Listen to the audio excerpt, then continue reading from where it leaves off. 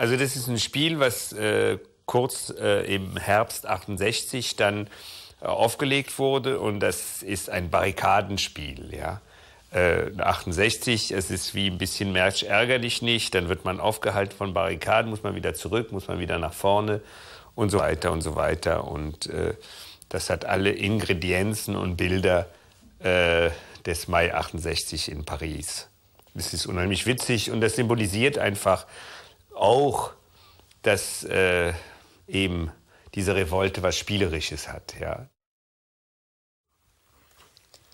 Also das ist eine Auszeichnung, mir von Frankreich verliehen worden ist. Das ist hier die Ehrenlegion, Le Chevalier äh, de la Légion d'honneur, den ich äh, in den 80er Jahren auf äh, Wunsch von dem französischen Staatspräsidenten Mitterrand bekommen habe, übergeben vom französischen Außenminister im Außenministerium für die Arbeit, die ich geleistet habe, Aufdeckung von Essverbrechern und besonders damals die Affäre von Klaus Barbie. Also das sind Auszeichnungen, die mir der französische Staat gegeben habe. Äh, in Deutschland habe ich noch nichts bekommen. Also, ja, also erstmal die meisten von den Sachen, die ich hatte, sind schon irgendwo verteilt in verschiedenen Ausstellungen. Ähm, das Übrige, das meiste ist dann noch bei dem Hamburger Institut für Sozialforschung. Und das Übrige ist in ein Lagerhaus in den USA, weil ich jetzt äh, mein Haus dort verkauft habe und im Augenblick keine Wohnung habe. So, meine Sachen sind in einem Lagerhaus.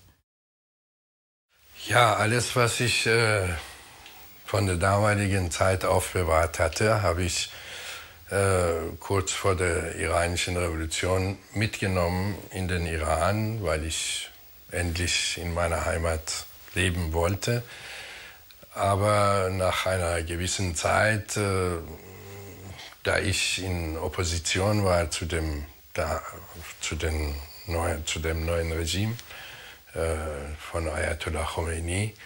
Da wurde ich verfolgt und ähm, meine Wohnung wurde beschlagnahmt und alle äh, meine Erinnerungsstücke, Manuskripte, Bücher, 10.000 äh, Bände Bücher, alles ist beschlagnahmt worden und meine ganze Geschichte der damaligen Zeit ist weg.